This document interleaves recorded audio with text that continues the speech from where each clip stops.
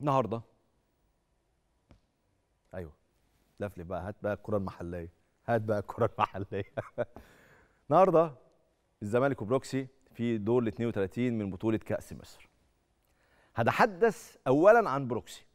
فريق بيلعب في دوري الدرجة الثانية في المركز السابع في مجموعة بحري مش في أحسن أحواله حتى تحت بس فريق عنده بعض العناصر الخبرة زي أحمد جمعة مثلا وأحمد شكري اللي ما كانش موجود في مباراة اليوم منقطع عن التدريبات. أحمد شكري لاعب الأهلي الأسبق وأحمد جمعة لاعب ومهاجم المصري الأسبق.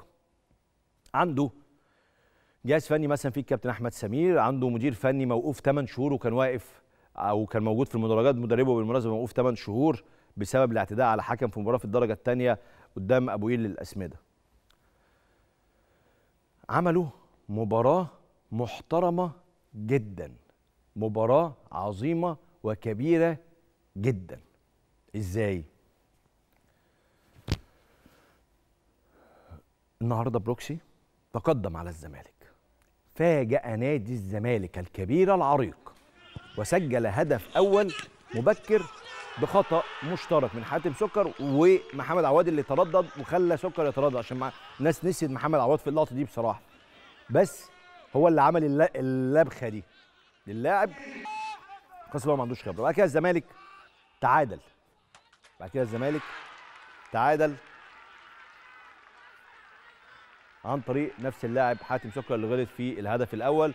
ثم أضاف اللاعب الخبرة زي ما قلت لكم المهاجم المصري الأسبق أحمد جمعة الهدف الثاني لبروكسي عشان يتقدم نادي بروكسي مرة أخرى على الزمالك. وقبلها على فكرة كان في كورة في العارضة. بعد كده حمزة المسلوسي وهتكلم عن حمزة المسلوسي ده في قصة وشغله في الملعب النهارده سجل هدف التعادل في الدقيقة 78 لعبوا الفرقتين وقت إضافي وسجل سيف الدين الجزيري هدف الفوز في الدقيقة 99 حرفيا بروكسي أحرج الزمالك. حرفيا الزمالك اليوم نجا من هزيمة مفاجأة كبيرة جدا في كأس مصر. حرفيا النهارده شرف شرف بروكسي فرق الدرجة الثانية قدام نادي الزمالك. بس الناحية الثانية الزمالك لا يزال يعاني لا يزال يعاني. كاد أن يخسر أمله الأخير هذا الموسم بطولة كأس مصر.